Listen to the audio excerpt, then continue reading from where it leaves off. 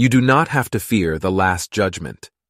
If you keep praying the prayer for world peace with Kieteyuku Sugata, putting all your thoughts into the prayer knowing that they only appear to fade away, there is nothing for you to be afraid of.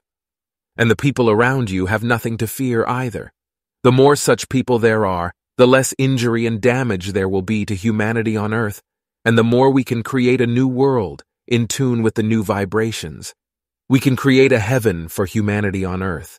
The prayer, May peace prevail on Earth, is easy for anyone to understand and practice. The best thing about it is that it's easy to say and easy to understand. You may think that because it's easy, it's not something significant, but it's not the case at all. It's easy to enter, but its depth is deep, deep, and deep. In our lifetime, the road to peace will be determined. I am not saying that all will be peaceful. I am here to say that this is the road to peace, and that if we follow this way, the world will be peaceful. When the dark thoughts have vanished from human beings, heaven on earth will be born. Any peace theory or discussion that doesn't go beyond the relative materialistic world won't create heaven on earth. However, when people study a little, they become more and more unsure of themselves, yet they don't want to know themselves. They just follow the interest and gain of the phenomena, status, power, money, and so on. They will live only for the satisfaction of their physical self. But just because some people were like that when you met them before, it doesn't mean that they are like that now. The trivial person you met yesterday can be more respectable the day after tomorrow. For example, there is a man who is turning 50. Before he turns 50, he has undergone many changes, such as shedding his skin or getting karma.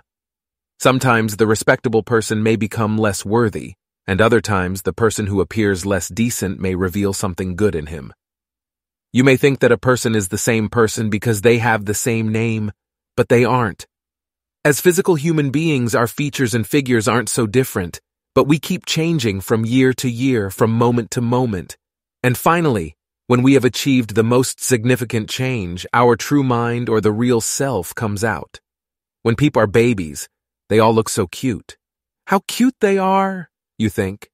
They are innocent. They have no bad intentions. They are just lovely to look at. But by the time they're 15 or 20, they can be disgusting. Where on earth does it come from? Is it the cuteness as a baby or the disgusting person that is true? Where is the essential nature of the child?